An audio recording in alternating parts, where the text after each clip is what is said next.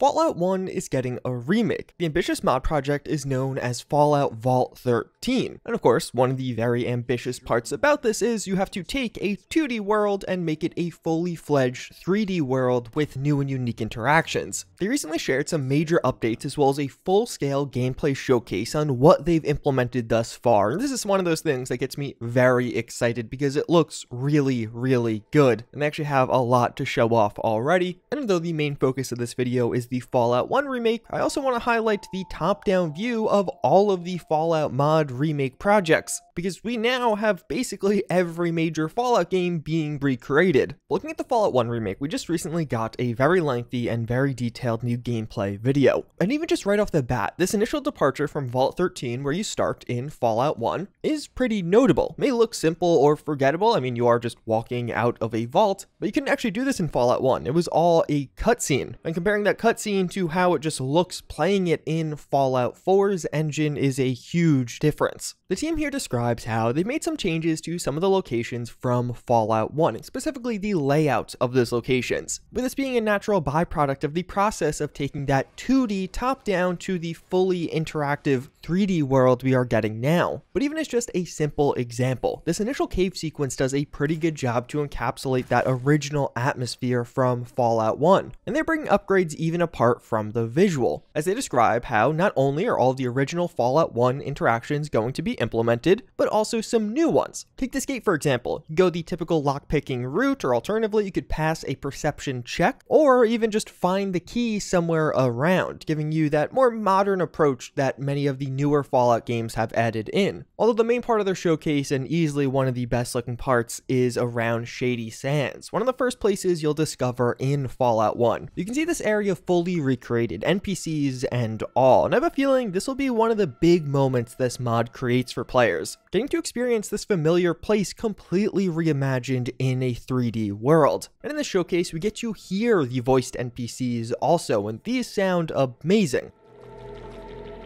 Good day. I'm called Seth. How can I help you? Information? What do you want to know about? Shady Sands is a peaceful community. We have our own irrigation systems. And even get some of that ambiance returning with the background music. And the voice work here definitely has to be commended, because if you compare this voice acting compared to the original in Fallout 1. Greetings. Your business in Shady Sands might be... It is my town, Wanderer. You must answer my questions or leave. Greetings. Your business in Shady Sands might be... It is my town, Wanderer. You must answer my questions or leave. This is not a matter of choice. Yes, hmm, yes, yes, yes. I shall believe you.